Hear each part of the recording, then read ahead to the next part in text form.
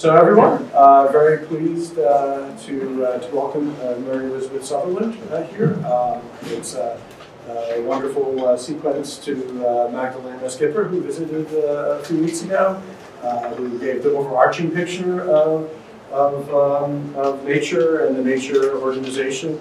Um, what, um, what's wonderful uh, with, uh, Mary Elizabeth is A, she, she actually handles manuscripts, and like, uh, so that's a pretty, uh, pretty wonderful thing to be talking to someone who actually is, is doing, doing the editing, but in particular, um, she, she actually brings humanity uh, back into nature.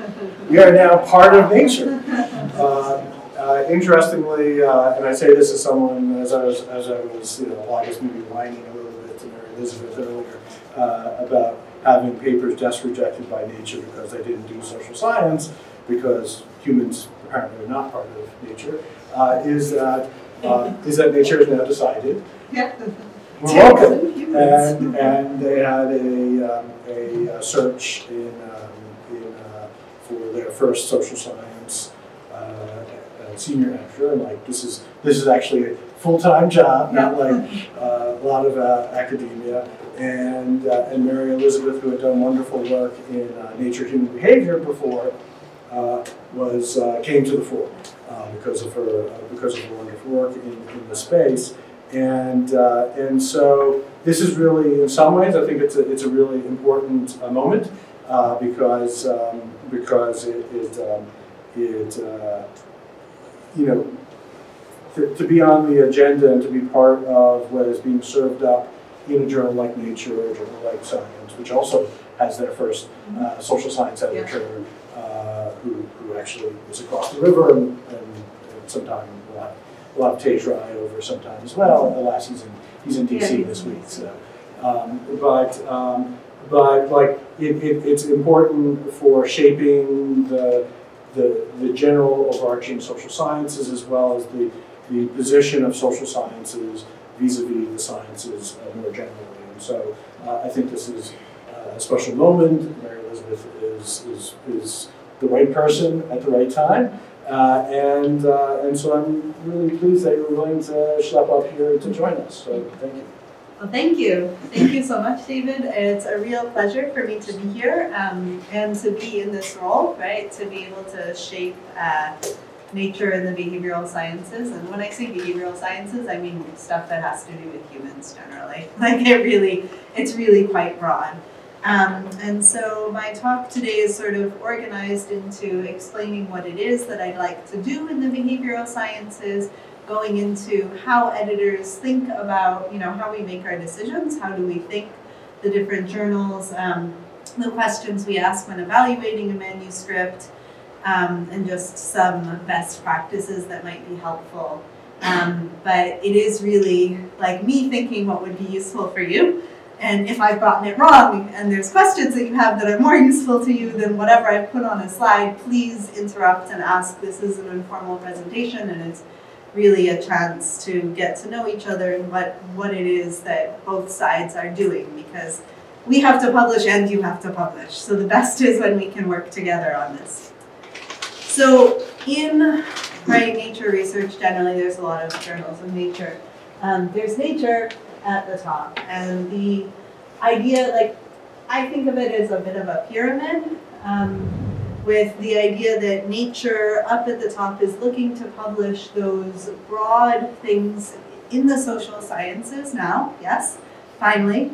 Um, questions that have broad impact, so it doesn't necessarily mean it has to be interdisciplinary, but if it's within the field, that it would have broad impact. So it would impact a really key theory, right, within within a field, uh, that it would have societal or policy relevance. So it can be within a field, but then the question is a big meaty one. It's not a very small specific one within the field. So that's kind of nature. Then there's the Nature Research Journal, so that's like nature and then something. And so the most relevant is where I was before, Nature Human Behavior. Um, and, that, the idea is that you know, it's of importance, but to human behavior. So the punchline that takeaway that you want to get across is really of interest to people um, who are working on understanding human behavior. Um, and then in that realm, also for the social sciences, I would say uh, nature energy, nature climate change, and nature sustainability are all doing a lot of social, publishing social science things specifically when the behavior you're doing is related to, let's say, climate change, right? So how can we get more people to the word believe doesn't seem right, but anyway, how can we get more people to accept that the fact that it was 90 yesterday in October in New York is a signal that things aren't quite normal, right?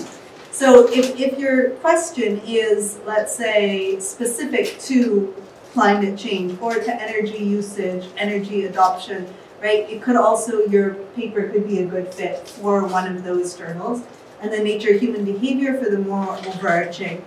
And then down here you have nature communications, which is a high quality paper, um, but it can be a more narrow advance. Can also be interdisciplinary because nature communications covers everything, but it's it can also be more narrow because what they consider is really that it's a good, significant advance in that field, and they're publishing a lot, so it doesn't matter if it's appealing to a broad range of people in, let's say, human behavior. So um, as you can see, I would say the axis is sort of, you know, the breadth of appeal is, is going up as you go up this pyramid. And something else that I don't have listed on here is the depth of your story. So how much detail you go into in the paper. So if you have, you know, an observation that's important, but we don't really know, is it unique to, you know, algorithm X or could it be explained by something else? That's more nature communications. Then you get up a little bit more in the story, you get to the nature research journals, and then you have to have a quite a developed story to get to nature. So it's the breadth of appeal and the depth. Um, and this is really how we are, this is, this is our publishing um, in the behavioral sciences, and it's great that finally now we have, um, we're doing more of this for nature. So, like I said, um, when I say behavioral science, I, this is just like an idea. I'm sure there are more things that I haven't really thought of, but it's really, it's really all of this. So the reason that I bring this up is each nature journal is run, like we're, we're all professional editors. So that means we all got a PhD, most people did at least a postdoc, um, and then we left the field of academia to become editors. Um, but like my background is in cognitive neuroscience. So I have a background that has psychology and neuroscience. Um, I also had a had some experience in musicology, so that's my humanities side. Um, but it means I've learned these other fields through being an editor at Nature Communications and Nature Human Behavior and through my engagements with nature, but I'm learning every paper I read. And I'm also learning every visit like this I do. And just to give you an idea that the editors handling your paper are trying to do the best they can, but it's a very broad uh, we're handling a lot, and so the most you can do to educate your editor in your cover letter, in you know reaching out to them, in these sorts of interactions, the better because you know it's hard for me, for example, like sociology is huge. So I need to know what are the key topics in sociology, like where are the debates, where are people, what are people thinking? So I can go to conferences, I read a lot, a lot, a lot, a lot. um, you know, and I can search and I can see like citation patterns, right? By looking at what papers are doing what, where where the interest is, looking at Altmetric scores. I, I have all these tools, but just to say, um, please do always reach out and educate your editors because we're trying to cover a large breadth and there are things that we can get wrong. So I would say this is approximately my remit approximately. Yeah. Are you okay taking questions now? Yeah, of course, please. Great. Uh, so I'm wondering when you say educate your editor, um, how exactly, do you mean more than just in the cover letter? The cover letter is great. Um, so I guess it's the way that you do that in the cover letter. So often people will say like, this is an important topic, which is not very informative. So giving an example of why it's an important topic is really useful. So the cover letter, um, yeah, the cover letter is your best option because it's really your pitch at why something is important. Um, and then just also in the framing of your paper so that you make it clear what the gap in knowledge is that you're addressing and how you address that. So I read many papers where the authors are aware of the gap, but they never explicitly tell you what's missing.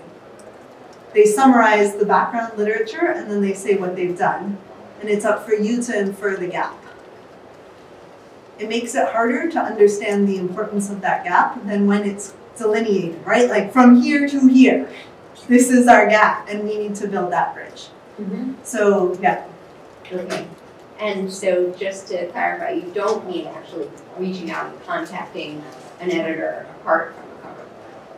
Um, that is also something you are welcome to do. Uh, something in this field that I'll get to, I think maybe in my next slide, um, is understanding more about the areas within the fields that are really relevant for a broad number of people. So that is something that I would like to do, especially in the behavioral sciences for nature, because it's something that we don't have established yet. So I'd really like to uh, spend time on outreach and on individual conversations to get an idea of the field. Um, what tends to happen at journals, as I'm sure you've all experienced, right, David's experience with uh, nature not accepting social science. And then the problem is that nature says we don't accept it, then they don't get it right? So that means that the papers I see are not actually representative of what's going on in the field because the people who read Nature are like, well, they don't publish in this, so why would we send it? So they're going elsewhere. But now I need to figure out what's going not to me that I want to get. Like that's really my mission now at in developing this at Nature is saying what are the things that we should be getting that we haven't been getting because people look at our table of contents and they say they don't publish that. Um, and the only way I know how to do that is is by actually like doing this type of outreach or having relationships, building relationships with people where they do come and tell me and say, hey, like this is really important. There's whole conferences that go on in this. You know, this is a topic you need to consider because um, I need to learn that somehow. Yeah. Yeah. Just a follow-on question, which is how how this all gets um, enacted organizationally. So let me be specific because this is, I know a bit about how science does this, which Yeah. is there's a deputy editor, a manuscript goes to them. Yeah. They might just reject it, I can do the flow chart. Some, Right. you know, half manuscripts, they probably just say, ah, no. Right. And then, then the other half, they send to a reviewing editor. Right. Um, do you have reviewing editors? I mean, so like they have like 200 reviewing editors. I was a reviewing editor. I would, if, if it was in my domain and, and I was sent it, then I would give some comments. I'd sort of say, looks great, not so much, what have you. Uh, and here's some potential reviewers. And so the question I have here is like, do you have other reservoirs of expertise that you consult in, in the process? Right. So the way that things work for us is that the new paper comes in and it goes entirely, so any journal with nature in the name, it goes entirely to in-house editors. Um, so that means it would go, right, if it's in the behavioral sciences, it would go to me. Um, we then consult, so my colleagues on the physics team, uh, I consult with for the computational social stuff mostly uh, when it has a heavy physics component right? Because that's something that I can't. So what we try to do is we try to do in-house expertise in consulting between the relevant backgrounds of the editors we have to make that first decision to send out to peer review or to reject without review. Um, in the case of you know newer disciplines, uh, we do also go out for informal advice, but that is rare we usually make that initial decision uh, based on us and based on you know who's been handling what in the team and what's been what's gone out. But that's usually made in-house. And then when we go out for review, that's when we start to get the community feedback. And then sometimes we go, let's say you have your three reviewers, but you're still, you're not sure about some of the comments that are made. We either have people, like reviewers comment on reviewers' comments, mm-hmm. or we'll go for external advice. So if we have, let's say, two that are very, two that have the same expertise but are coming at something like this, we'll try to find somebody else with that expertise to comment on these two who is unrelated. So we usually go for the external advice only after that first decision. Uh, So it's very profoundly different, interestingly, than science. Uh, Yeah. Which is, you know, you're the only, the only other journal one would say similar to Nature. Right, right. And so I think the idea for, um, the reason that Nature has this model is they're stressing the idea of a professional editor, I guess, um, is that you have no skin in the game. So I have no conflict of interest to try to get things in my discipline published more or less, which of course can then influence the funding, right? Or the perceived importance in that cover letter when you're like, hey, well, you know, science publishes, nature published this, like, I, I don't have anything anymore. It doesn't matter to me. So you have this, um, this sort of version of it where you're getting somebody who doesn't have any potential conflict on that front, um, and also who is specializing and taking the time in assessing the breadth of potential impact. Because if you think of now, like my research is developing strategies, which is looking at where papers are published, how they're being cited, how they're being picked up in the media, you know, like who's who's collaborating with whom. It's really like that's those are the analyses I do these days. it's sort of um, for our own strategies. So it's taking that expertise as opposed to the domain specific expertise and waiting for that to the peer review process where you then say, okay, do these methods really address the question? Yeah. So I'll get more into this um, after I just go through a few things. I put this on this, yeah. Um, of then what we're trying to do for the behavioral sciences. So some of the things that I'm trying to do in a, in a broad sense, right? So something that we're trying to do is uh, publishing more, and I say that by broadening our format types. So we have now matters arising, which are basically, if there's an issue with a paper, you now have the chance to write more of a substantial, not just a 500 word correspondence, but like an actual paper type data thing that can be um, refute the claims, can show where they're flawed. Uh, and this is nice because it's online, so we're flexible with the format and the word length so that it can justify, you know, it can actually adequately critique a paper, um, which is very necessary. So these, we have some of these, um, the correspondences everybody knows, those are shorter forms, comments. So something that I've been doing is working with, there are different editors at Nature for the comments and for the news and views, but that I work with them. So if I get a paper that is of broad interest, but there's not that much data in it, so I don't think it has the breadth of that, it can't make the type of story. I can say to the comments editor, hey, this might be something you should be interested in, and then I basically do the cover letter, explain why it's of importance, and then see if they'll work with this to have it as like, you know, there's data and it's good data, but it's a shorter format, less in-depth, just, you know, a single observation. Um, news and views, so these are on papers that we publish, but also um, if people have interesting work that's coming out in other journals, you can ping me before it comes out and see if it's something that the news and views team can cover, because then it's going to get into a little thing in nature, like, hey, there's this cool finding coming out, um, which I want to use to signal our interest in the behavior, in human social sciences generally. Um, the same is true for research highlights. So news and views are slightly longer. Research highlights are just short little, it's kind of like an abstract, but written in a more public-friendly form as opposed to an academic form. Um, then we also have perspectives and reviews. So these are generally commissioned. So if you have an idea for a perspective and a review um, in nature, your best bet is to talk to the editor to see if it's an idea they would be able to pursue or not because we have a very limited number that we're allowed to publish per year because we have to balance it across all of the fields represented by all of the editors. So that's like from earth science, physical science, ecology, evolution, everything.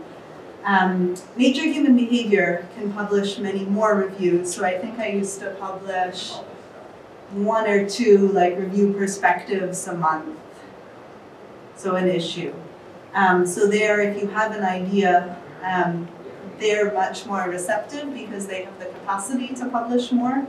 Um, as long as it's of relevance to human behavior. The same is true for nature communication. So if you have ideas, I would say probably nature human behavior and nature communications are more likely to be fruitful, but you can always approach the editor. But for these, it's usually better to get an idea either as a pre-submission inquiry, you know, in terms of is this something you would consider more, um, because the success rate is a bit less and is a lot, a lot of it is due to the editorial vision of that journal. Um, then something I'd like to work on, but it's going to have to wait a little, um, is an insight. Um, an insight is basically a collection of articles on a topic. So in, uh, in Nature Human Behavior, we call them a focus. In Nature, we call it an insight. Don't ask me why. We call it a collection in Nature Communications. Really no idea why we have different names for these things. But basically what it is, is that you're putting together a series of articles. My background is musical, so I think of it as an album as opposed to just a single, you know, just songs by themselves that really get at um, either providing an overarching view of where the field is or get at a specific issue from different perspectives. Um, so this is something that I'd like to work on um, in collaboration with my physics colleagues, hopefully on computational social science, but it's it's going to take me a bit because they take a long time. but it's also a vehicle, you know, and something that you can speak to editors about doing these types of focuses. Um, and then finally, the registered reports, which we only have at Nature Human Behavior at this point. I'm hoping to get to Nature, but again, that's going to take a bit more time. Um, but Nature Human Behavior does consider registered reports. So if anyone has questions about that, um, I'm happy to answer, yeah, in more in more detail. Um, and then something, yeah, the final one are these policy briefs, which I mentioned. Nature Energy should start publishing them, but we're um, the idea is that we want to expand our readership from just the academics to people who are involved in policy. So we've come up with this sort of template, um, and these will all be open access, and we're developing like a mailing list of basically policy people to send this to. And this is where your paper, with our help, gets rewritten into a page, which is very unacademic. It's like what you found comes first, what policy question addresses, there's no methods, no one cares about the methods we, we developed this in um, collaboration with policymakers, and they're like, why do you keep telling us how you do this? Like, we, we don't care. What, what problem are you fixing? Great, done, done. Like, black box it all the way. And a link to the paper, but it's, it's kind of funny because it's very different than how academics think, and we kept trying to stick in methods, and they kept being like, guys, we don't care. really, we, we don't have much time. Like, just tell us the point. Um, so that's coming out in Nature Energy and will hopefully spread through. And again, this will be policy relevant papers to try to broaden the readership. Um, this isn't probably not going to help in terms of citations, but in terms of the overall impact. Um, so then the other thing that we're, so that's really, I guess, this first one I would say is sort of like information diffusion. How are we communicating? How are we helping talk more about this. And then our next main thing is the ensuring replicability and transparency. So there's a lot to be done here. Um, some of the things that we that we're actually doing is um, recognizing peer reviewers now to show like they're part of the process. So in nature, if you're a reviewer, you have the choice to put your name publicly with the paper so that we're already part of Publons so that you can say, you know, oh, I've reviewed for them. But here it means like you can point to a paper and say, see, my, my name is on as a reviewer. Like I did a lot. Um, Nature Human Behavior is actually saying who the editors are for the paper, so you can start to know who to go to and who has been doing that work. Um, we support preprints. At Nature Communications, we actually have a linked page, so if you have a preprint, you can have it on the Nature Communications homepage as under like under peer review. So you can see which papers, again, if you choose, right, are, are under peer review so that we are trying to um, make yeah, not hold up people putting their results out. So not only does it not count as you know any kind of scoopage, but trying to feature that. Um, we have transparent peer review at Nature Communications, which means if again the authors are the one who have to choose this, we publish as the supplementary information. We publish the peer reviewer reports. Again, they can be anonymous, right? Reviewer one, reviewer two. It's if as a reviewer, it's up to you if you want to sign your name. Um, but it means that you can actually see what the reviewer said, also the point-by-point -point response, so you can see how the paper has um, changed. And when I've given more master classes on writing for younger people, it's been really helpful for them to understand the peer review process, what a good point-by-point -point is. It's a good teaching tool, um, but it's also nice to see what the peer review process does.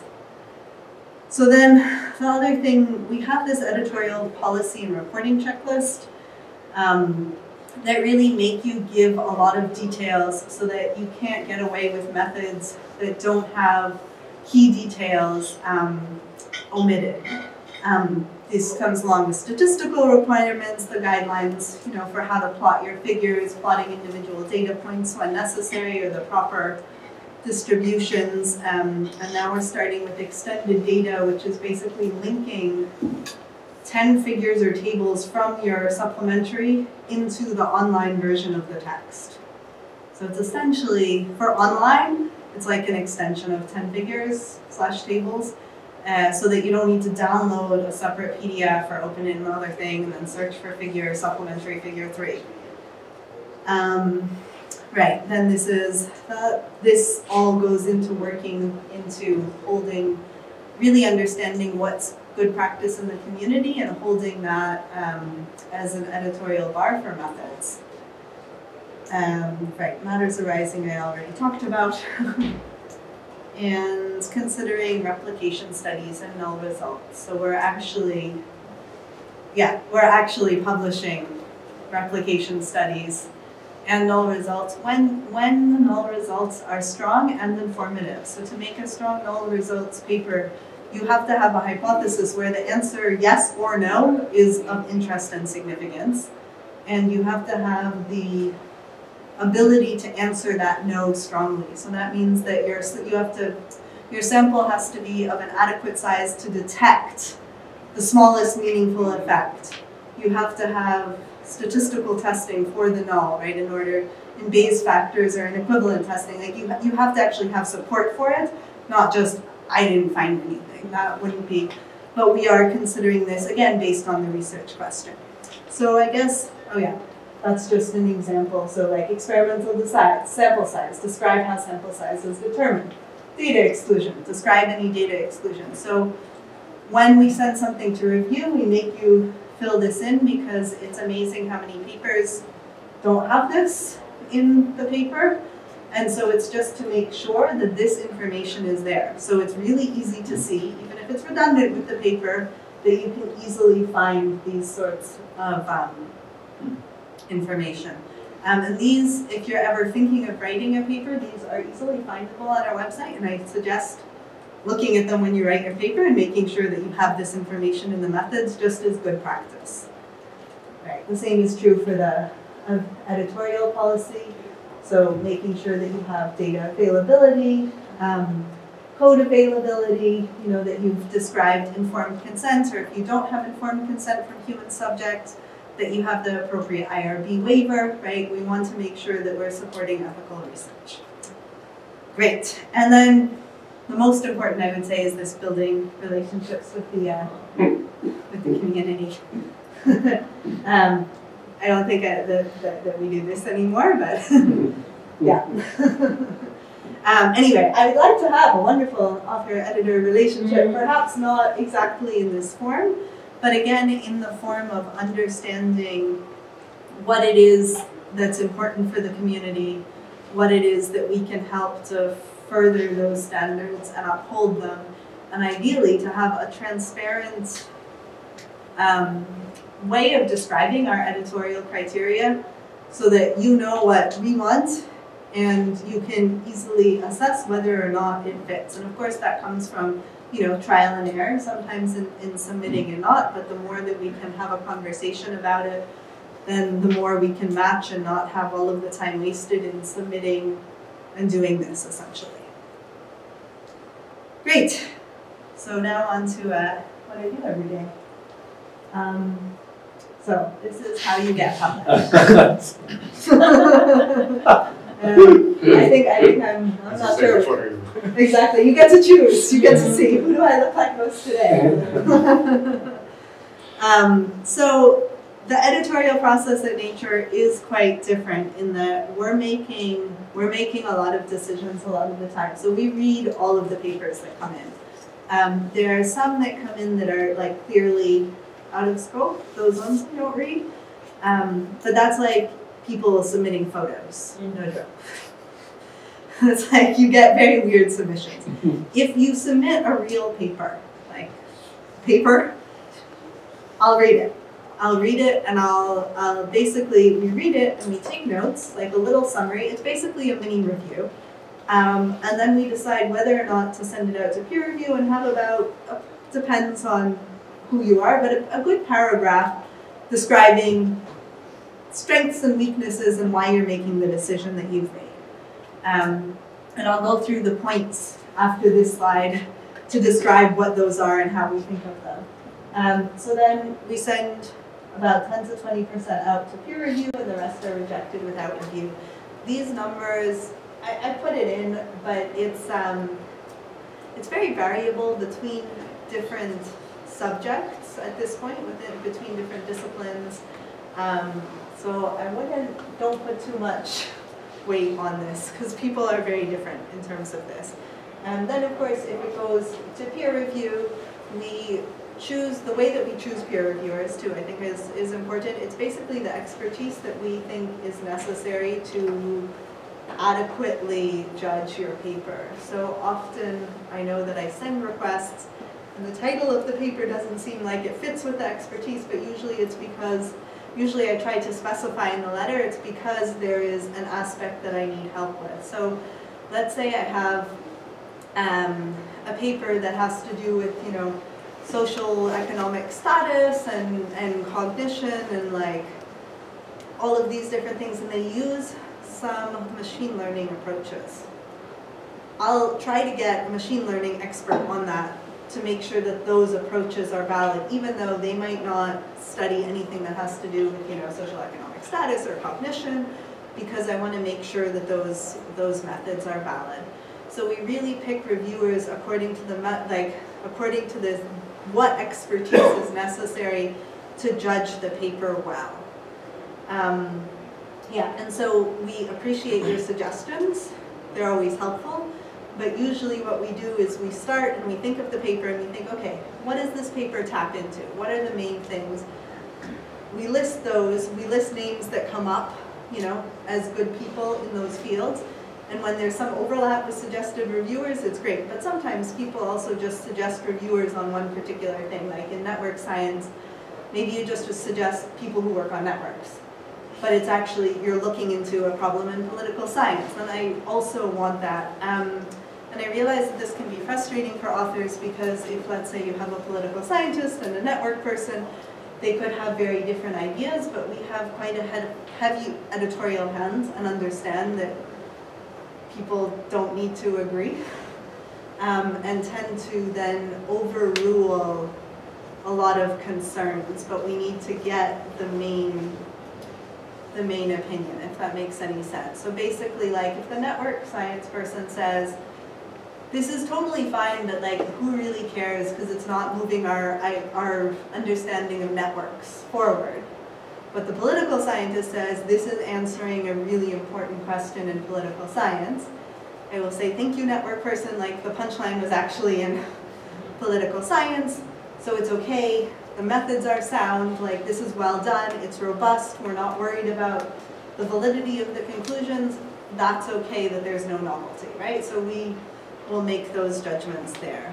Um, yeah, and then it goes through this sort of thing, but it means that there's a lot of editorial input at these stages in terms of what's necessary for a revision and yeah, what are the comments that we're considering, and then finally, hopefully it gets to accept. Yeah, So that's sort of uh, what we're doing. We have papers at all stages at all times. So, yeah, Uh, three reviewers, what's, what's the, it depends on the paper.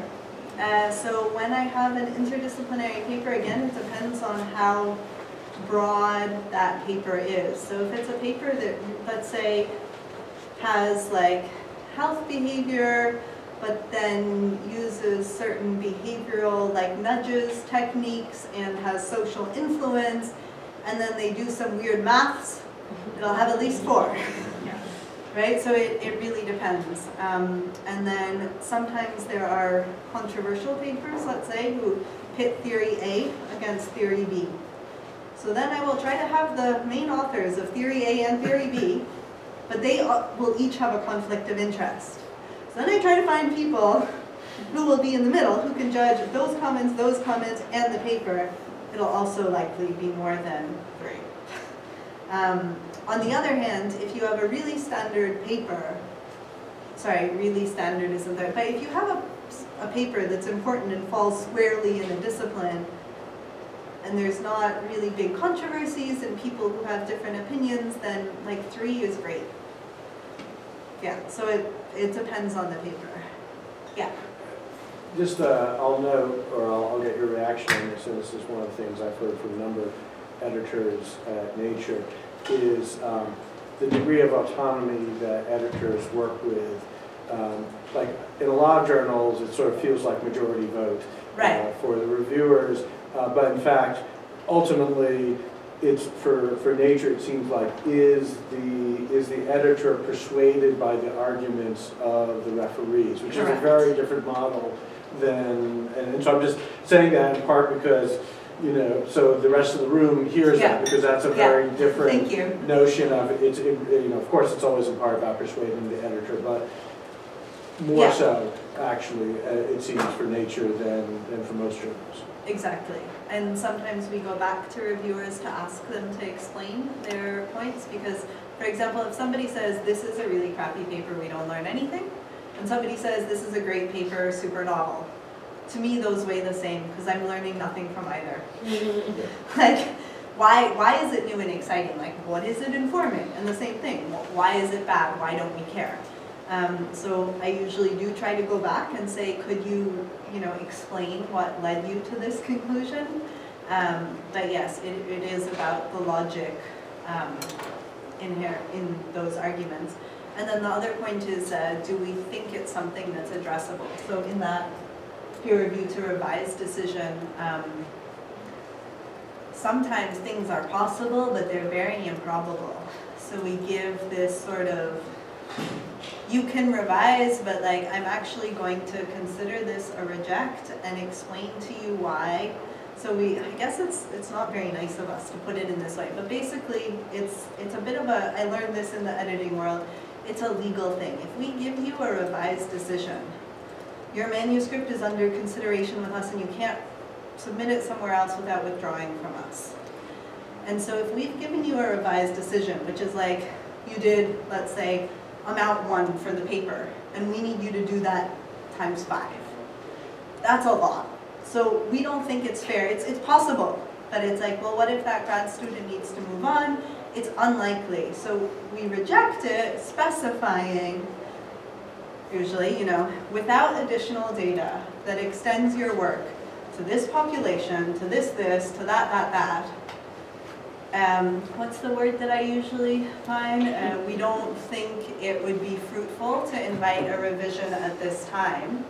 You know, we therefore wish you the best of luck. So basically, I'm telling you, this is what you need to do, but I'm giving you the reject so that if you want to take that paper somewhere else, you can. And if you want to come back to me, you can as well, but it's like, it's free. The paper is free. Because if I actually submit a revised decision, technically the paper is under consideration with us and you can't do anything with that without withdrawing, which is a big pain. It's not a big pain, but you just have to do it. Yeah.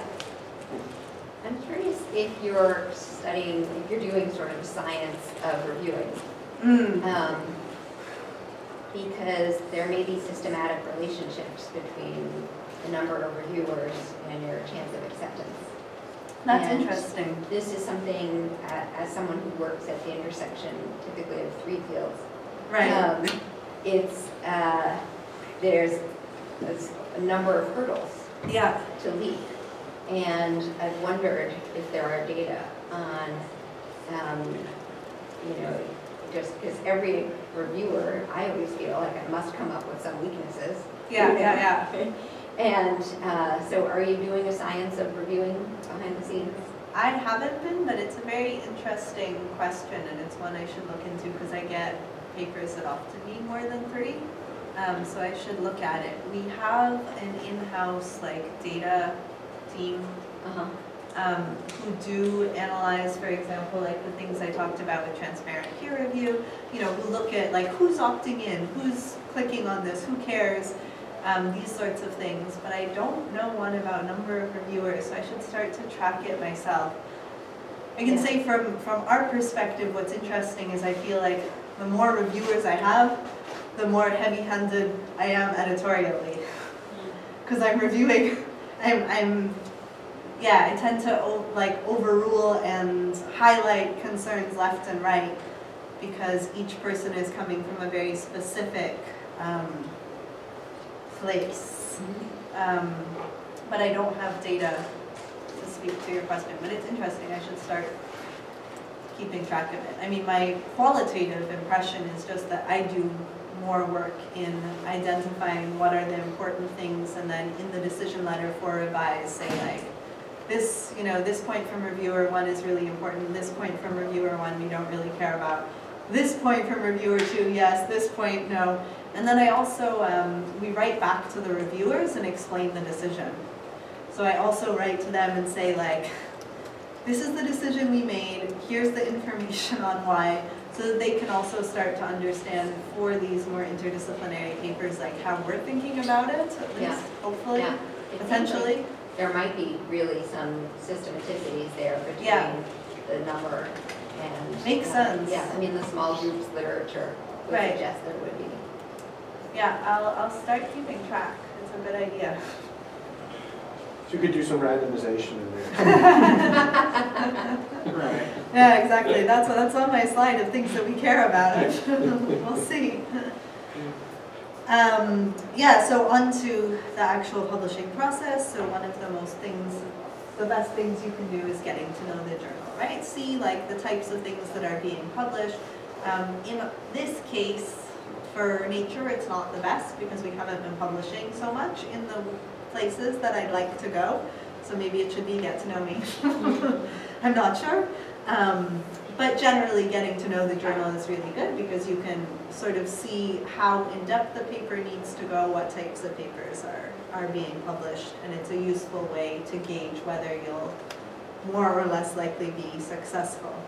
Um, but since we don't have that for nature, I can kind of go through the questions that we ask when we read a first submission. So one of the most important ones is what does your paper actually show?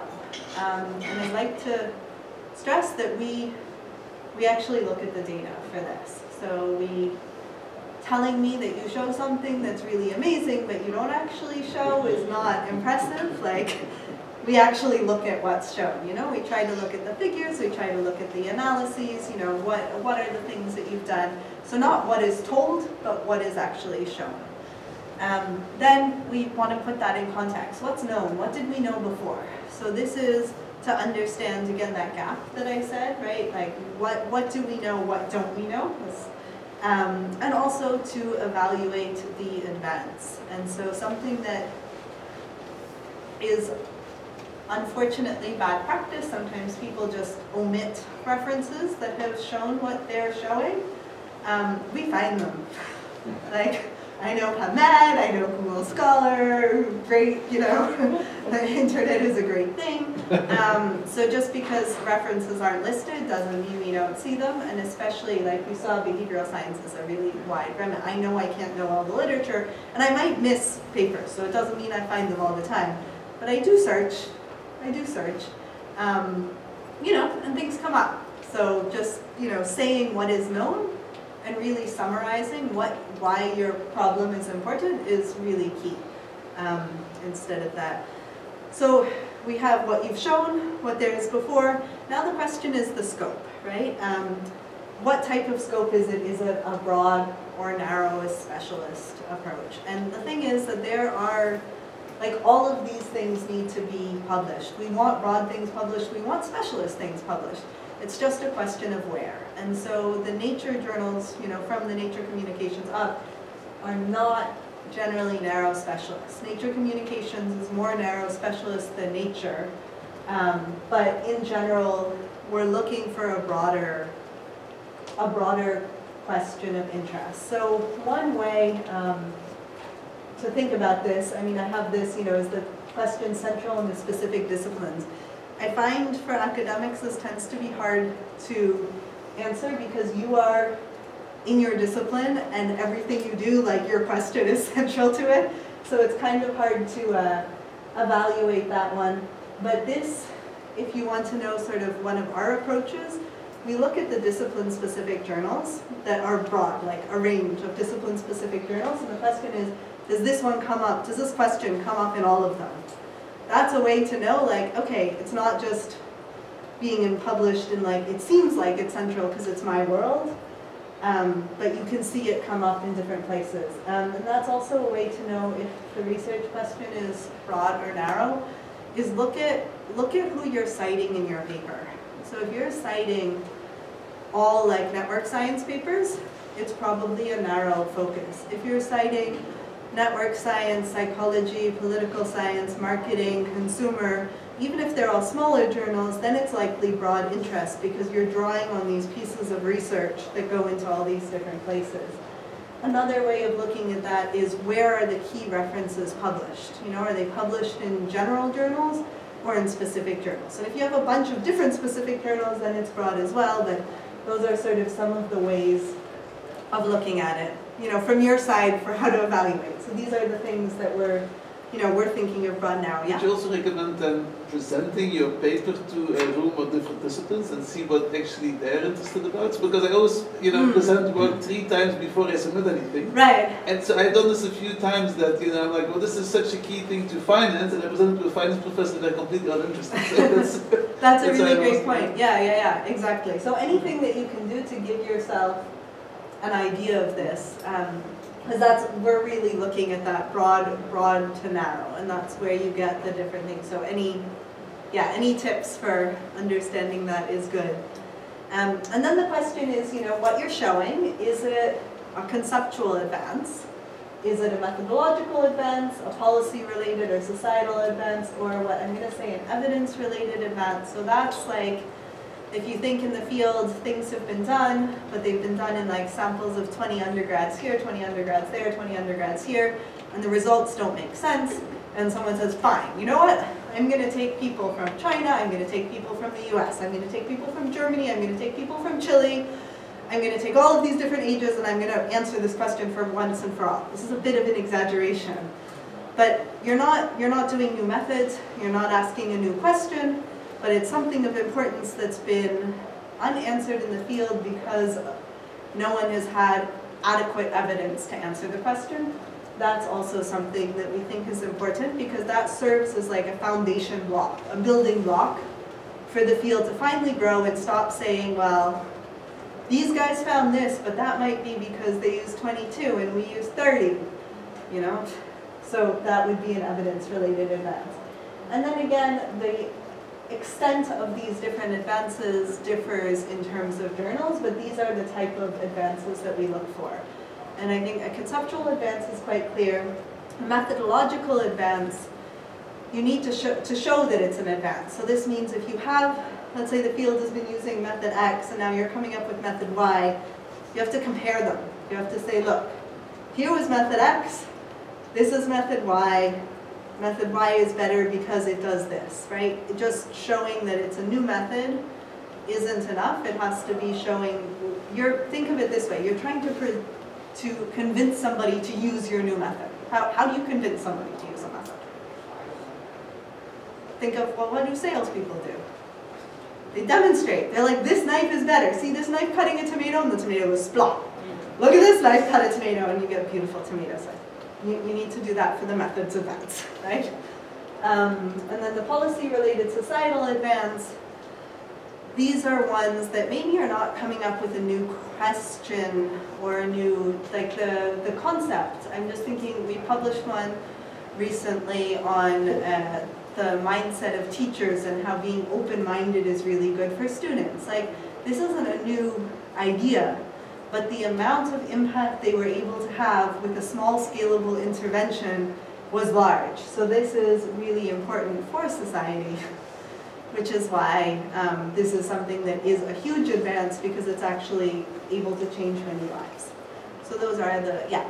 And the of that category is you've already intervened, you've already gotten the state of whatever, country, whatever, to change its policy, or you've demonstrated it and now you think everyone should adopt it.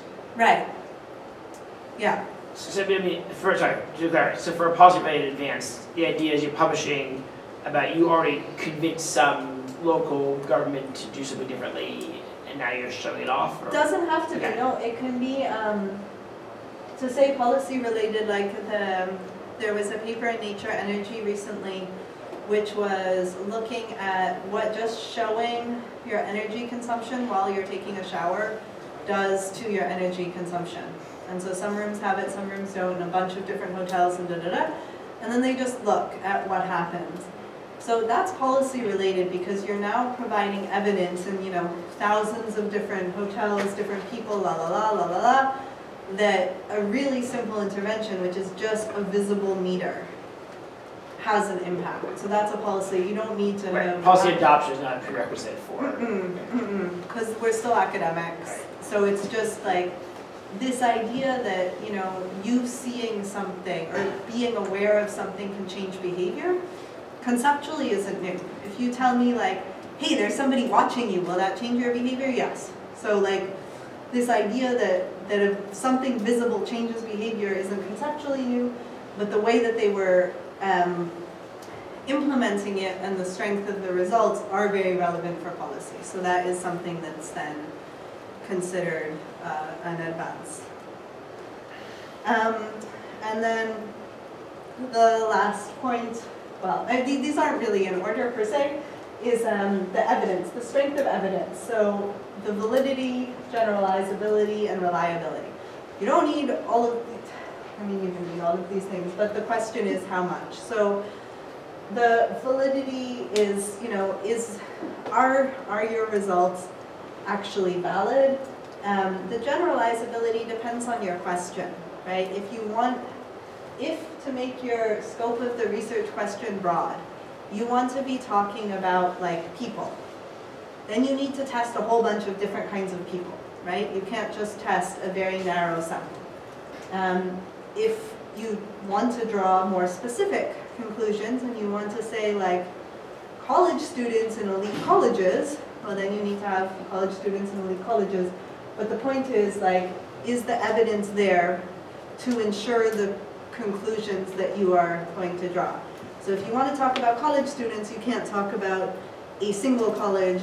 You have to talk about different colleges, or you have to say, you know, people here at Northeastern, right? So it's just our, right, and that will then, you know, let's say you do something like that, then the scope becomes more narrow. Um, and then the reliability, of course, is are your, are your results reliable? Have you actually looked at them to make sure that it's not just because you used method A and actually if you used method B, it would be very different, you know? Um, is there replication when necessary, etc. So that's something else that we assess. So then basically, these are the questions. So when I read a paper, I write my little summary, and then I have my my persuasive paragraph, which is basically answers to these questions, sending, saying why or not it will go out to review. And so if I feel that the strength, you know, it's, it's broad scope, um, like, let's say it's a conceptual advance, which is a broad one in scope because it's changing the way that we think about information fusion. And I think that the evidence presented is strong enough to back up that conclusion.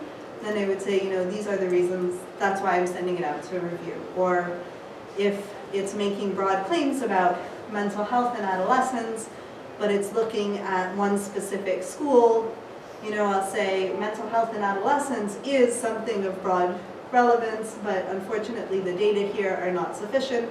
They also only have um, self-report measures. We have no clinical diagnoses of any mental health issues, you know, et cetera, et cetera. So the strength of evidence isn't there, so it's going to be rejected. So just to give you an idea of how we think.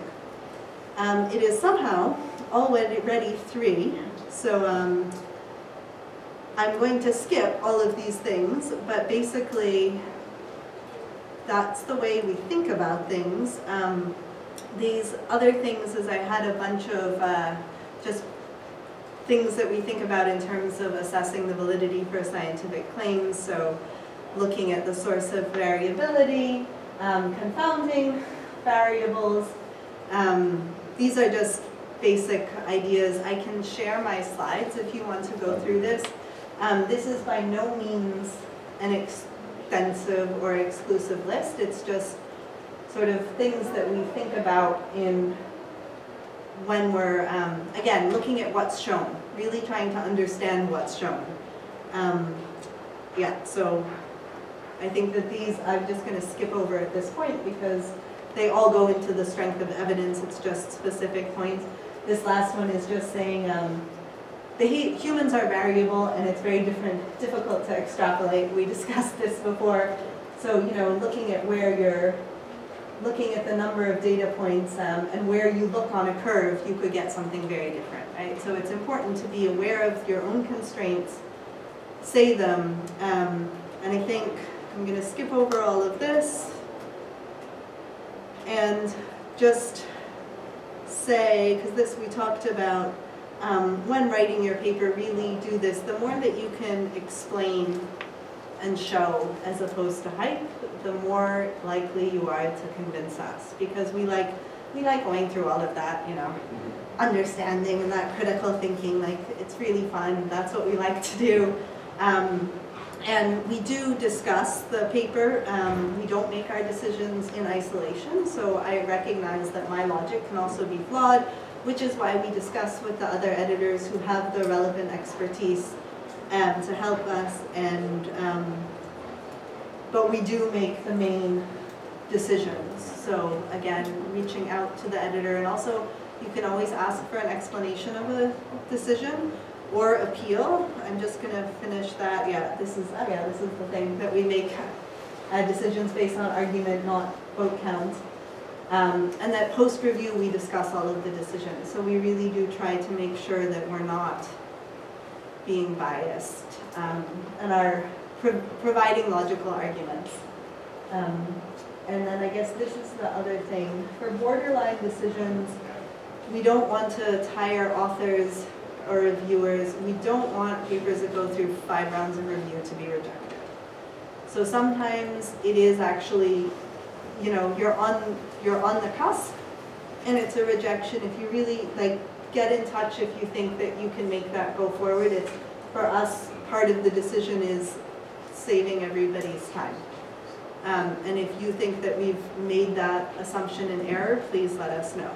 So I guess that's um, the appealing part. So if you are unhappy with our decisions, um, you should let us know, and we do take these seriously. Um, but consider your case realistically. Like the paper, if it's my paper and you appeal, it's coming back to me. So you're not going to get, like it's discussed with the team, right? It's not just me, but you're still going to be dealing with me. Um, and basically, these are the things, this is the helpful side, this is the non-helpful side. Um, again, it's the logic of the argument. So if you have data that can address the issue, that's really good. If you can show that the referee has made factual errors, that's also okay. And I mean, you can, you know, how do you do that? Let's say, give me a reference for the paper. Like, let's say you use analysis X and they say that's not suitable, and there's a paper that shows it, you know, and I've missed that in reading the paper, just send that to me. Be like, hey, they said this, but this is actually okay. Right? That's convincing. Or um, providing evidence of bias of the reviewer, saying that you don't think, you think that they're biased isn't always the best. Um, but if you can show like, look, you know, I mean, I have a specific case in mind, but you can show that these people have publicly spoken on this side very strongly a lot. You know, that's an evidence of bias that I'll take into account. But if you just say, I think that reviewer two is so-and-so and they don't like me, that's less helpful. So um, the referees are unfair. Again, because we're persuaded by arguments of the referees, when we hear referees are unfair, it's like, no, we took their arguments into account. They make sense. So tell me why they're unfair. Like, is the argument flawed? Are they bringing up things that aren't realistic? The cosmetic rewriting of the paper, I've had this happen, right? People just uh, remove the parts that are problematic.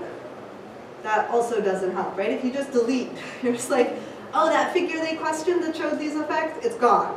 and we reframed our hypotheses to like, take it out. You're like, well, that's horrible science, don't do that. like, I'm not gonna like your paper more, right? Just like shoving it under the rug doesn't work, or just cosmetically changing it. Um, yeah, this, this other celebrity endorsement and statements about author's reputation, right? If you tell me like, well, I was, you know, I presented this and these people came by and said this was the most exciting talk of the conference. Again, not helpful, neither are statements about reputation like I am so-and-so, therefore this is the best paper. Um, so like these are the ways. So if, you know, because I'm trying to handle papers across a variety of disciplines and I try to approach every paper uh, by understanding the logic, why it could be important, and same with the referees of course, um, but I can, I can misunderstand things.